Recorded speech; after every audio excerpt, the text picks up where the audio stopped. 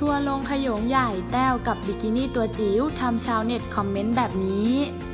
เรียกได้ว่าตอนนี้หัวใจกำลัง in love หนักมากเลยล่ะค่ะสำหรับคู่รักข้าวใหม่ปลามันที่เพิ่งเปิดตัวไปหมาดๆอย่างแต้วณฐพรเตมีรักษ์กับไฮโซประณัยพรประภา และเป็นที่ทราบกันดีว่าหลังจากที่ทั้งคู่เปิดตัวคบกันนั้น ก็ดูจะหวานแบบหนักมากน้ำตาลยังอายเลยล่ะค่ะ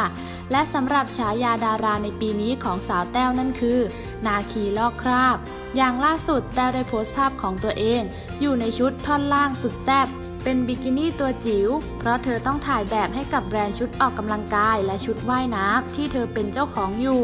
ซึ่งงานนี้หุ่นของสาวแต้วนั้นก็สะดุดตา เพราะกล้ามเนื้อแน่นทุกส่วน เรียกได้ว่าไม่มีไขมันให้เห็นเลยล่ะค่ะ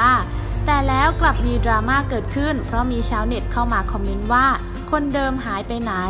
หลังจากนั้นได้มีแฟนคลับเข้ามาปกป้อง พร้อมคอมเมนต์โต้กลับแบบนี้